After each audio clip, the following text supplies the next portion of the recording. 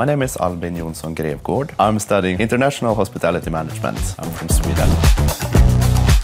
The IRF is a great opportunity to have for your future. It's a, it's a great forum for networking, show your experience around uh, all the hotels that are attending and they're coming from all around the world.